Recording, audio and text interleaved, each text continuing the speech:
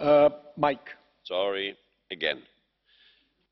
Liebe Kolleginnen und Kollegen, gemeinsam wollen wir doch irreguläre Migration in der EU einschränken, bestenfalls verhindern. Deshalb brauchen wir neben einer gemeinsamen Asylpolitik eine Migrationspolitik, die legale Einwanderung zulässt. Das ist gut für beide Seiten. Es ermöglicht uns eine Steuerung und zeigt den Menschen, die bei uns eine bessere Zukunft für sich und ihre Kinder suchen, einen möglichen Weg auf. Dieser Weg klappt nicht immer, vielleicht nicht beim ersten Anlauf, aber er ist eine Alternative für den oft aussichtslosen Versuch, Asyl zu erschleichen oder vor allem Lebensgefahr auf der Flucht zu riskieren. Und wir brauchen eine Politik, die die Ursachen für Flucht und Migration bekämpft. Die nachhaltige Bekämpfung von Fluchtursachen wie Klimakatastrophe, Instabilität, kriegsbedingte Armut muss durch ein vernetztes Denken von Entwicklungszusammenarbeit, humanitärer Hilfe und gemeinsamer Sicherheitspolitik erfolgen.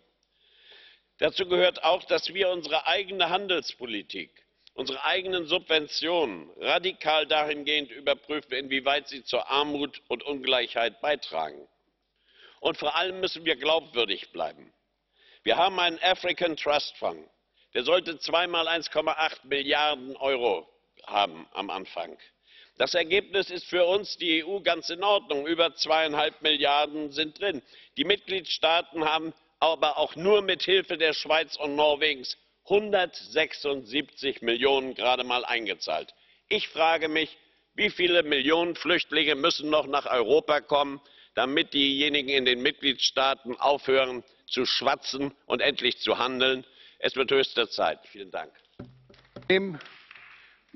Domnul Halaho, un minut. Thank you, Mr. President there will be smuggling in the mediterranean for as long as illegal crossing is rewarded. the demographic and socio economic trends in africa and the middle east guarantee that people will keep coming indefinitely